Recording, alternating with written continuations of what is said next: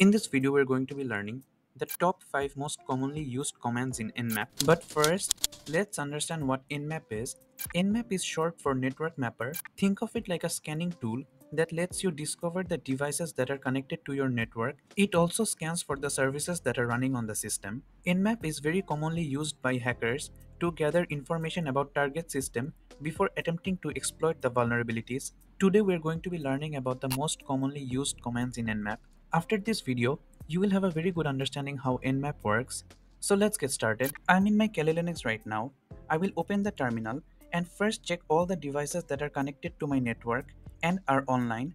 So to do that, we need to check the network address that we are in and the subnet mask. So I will type the command ip space a and press enter. I can see my IP address is 192.168.110 and my subnet mask is slash 24. So to check all the devices that are connected to my network, I will type the command sudo nmap space dash sn space my network address which is 192.168.1.0 slash 24 dash sn is a simple ping scan it will ping all the IP addresses from 0 to 255 and determine whether the host is online or not. So I will press enter. After the scanning is completed, I can see there are two hosts that is online. This is actually not two hosts. 192.168.110 is my own IP address. So the only host that is online is 192.168.120. If you have multiple other devices that are connected to your network, it will show you the result. But since I only have one device that is connected to my network, it is showing me only one. And I can also see the MAC address of the device. This is my another VM that is connected to my network. So this is how to discover the devices that are connected to your network. Next, we're going to be learning about the services that are running on the device.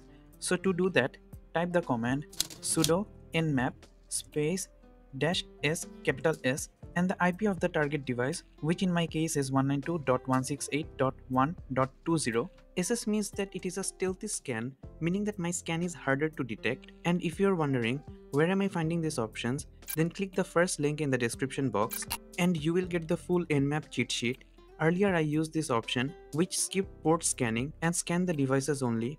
Right now I'm using the SS option which is performing a TCP SYN scan and just like this, you will get all the options required to master Nmap and you will get this article in the link in the description box.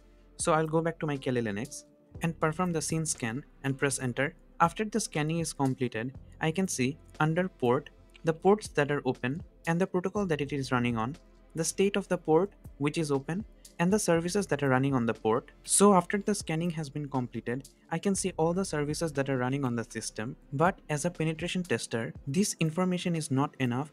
We need to know the version of the services that are running on the system. So for that, we can use the next nmap command, which is sudo nmap space dash s capital V, which is for version and the IP address of the target machine. And now if I press enter, I can see after the scanning has been completed, it also gives me the version of the services that are running on the system.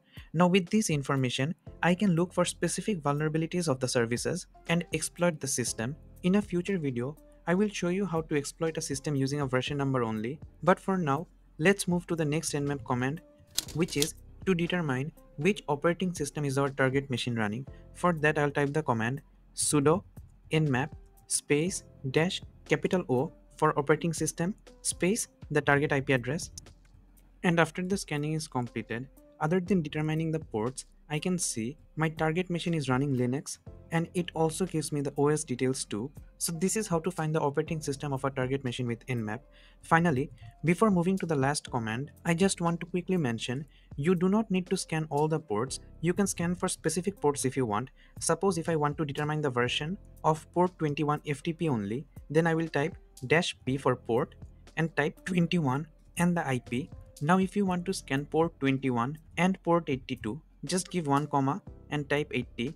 You can scan range of port like this 1 to 100 and if you want to scan all the ports, just type dash p dash and nmap will scan for all the ports. Now let's move on to the final command which is dash a and the IP address. Here a means aggressive scan. It does many things at once like the service version detection, the OS detection, and it also runs a default script. So I will press enter and see. And after the scanning has been completed, I can see the version of the service that is running. And because it also runs a default script, I can get additional information of the FTP server. For example, I can see that anonymous login is allowed on this FTP server. Same goes for SSH. I can see the SSH host key and if I scroll down, I can see the script has ran for all the services.